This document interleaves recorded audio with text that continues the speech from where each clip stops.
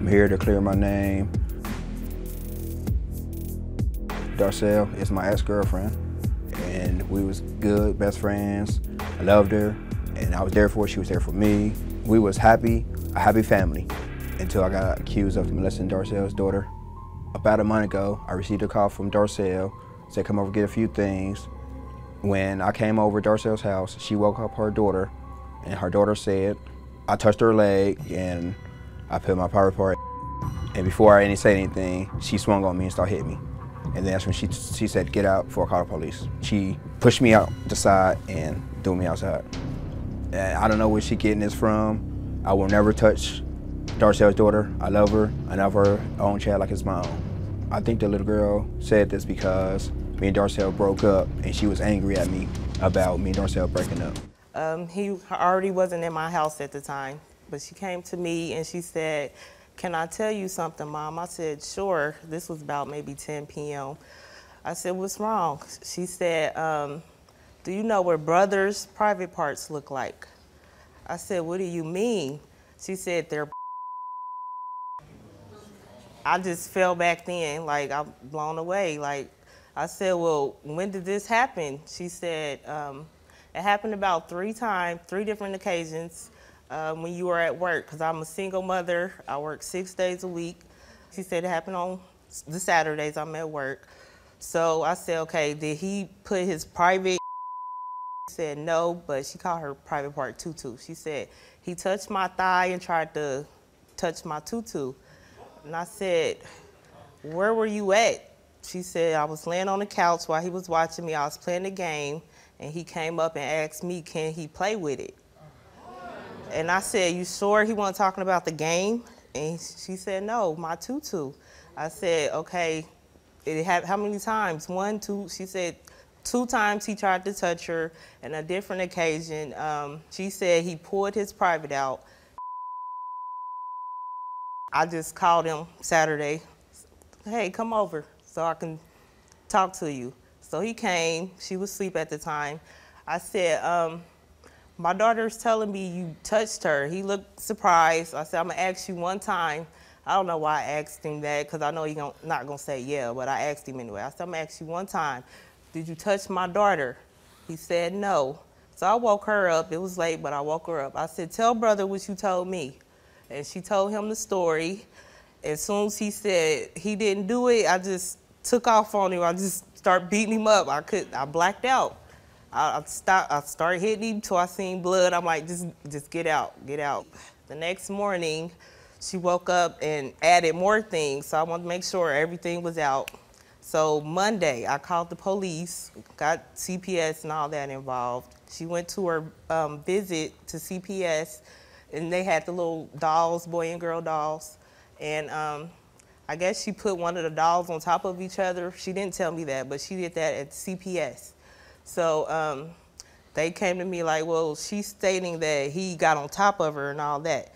So we left, and I'm like, why you didn't tell me brother got on top of you? And she was like, well, I was just showing them how the dolls have sex. So I don't really know if he tried to have sex with her, if she was confused or anything. I don't know. I just need answers. Telling you originally uh, these things about uh, touching her leg and her private parts, and there is an open investigation There into is. this right now. So the police got involved, CPS got involved. Um, do you believe that uh, Joseph did this? Steve, I'm so confused. Like, I want to believe him, but I don't want my daughter to be lying to me either. Like, I'm in the middle. Like, I don't know. And you certainly don't want your daughter to be Be a victim right, of this. Right. He's here today. He said uh, he took a lie detector test. If he would pass, what would happen if he would pass? I'll be happy, Yeah, but it, it's some things I will have to clear up with my daughter where she's getting this from. right. Darcel, I will never do this. But my daughter's not gonna lie to me about nothing like that. I was It's there for you. I- You was. Everything. I'm there for my daughter though. I know. I, will know never hurt y'all two, ever. We- Joseph, Yes. I love you, all that, but that don't matter right now. Right now, my daughter matters know. to me. Okay. Of course, of course. You believe your daughter. Of course, Darcel. Okay. and everything, everything I tell you. She came to me first before I came to you. I know I should have told you, but she came Why are to me. you hiding secrets with a I, Wait, hold I, on. was- I was trying to get, I was trying to get facts. I was trying to get facts before I tell you. That's really yeah. Hold on. I, I, I'm I, sorry. I have. I to, know. I was gonna give you a chance, but I have to interject on, on that point there. So you're saying that her daughter comes to you and says what? She was telling me about everything what she just said, and about and that's when she asked me, "Do we have sex?" and all that. I'm like, "Whoa, like seriously?" That's creeping me and out. you never told her about this conversation. I, I was could tell her. I was trying to get all the facts straight. I know it, it's bad, but I was trying to. I was Sounds- trying. it Yes, sounds yes, terrible. Yes, and I was trying to get all the facts No. Before I, I came to her. You know what? I, I won't ever Okay. touch a child. that story there is so unbelievable. Um, see, I, know. I mean, uh, I try to give this story every time I do a show. I try to give the story a fair chance because I never know the results bef- uh, before the show or during the show until I read them. But I got to tell you, when you're saying that story, it makes me It's look creeping at me you out. It's different creeping me light. out Yeah, it's creeping me out.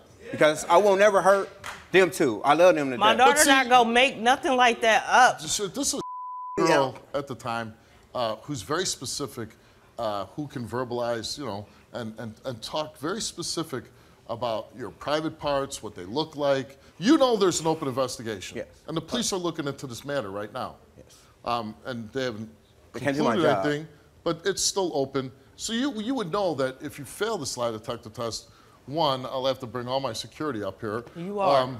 and two, are. you're going to be in big trouble when you get home. Yes. I will never harm a little girl.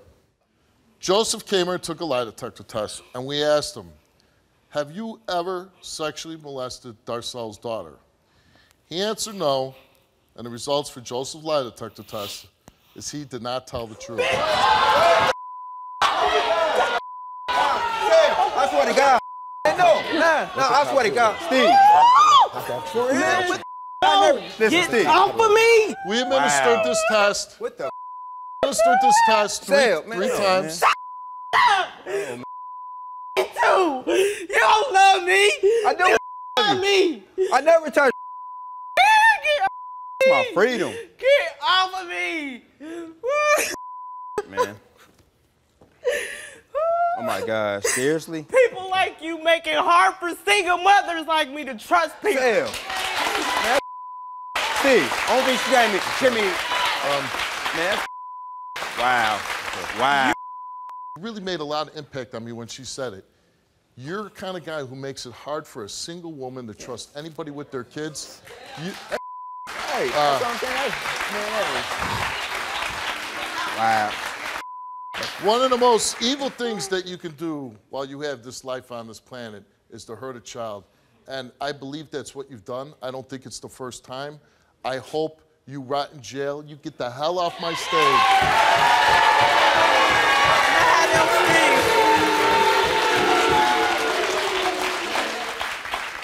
So all I can say is, uh, you know, you have your answer here. Uh, even that story told. I mean, I don't think you needed this. No, you hear that guy tell that story, and you know something bad happened. I happened. wanted his ass to hear it. Right. Um, but the good thing is now when you go home, I hope this investigation speeds up, and I hope uh, Joseph gets what he has Can I keep to. them papers? Of course. Okay.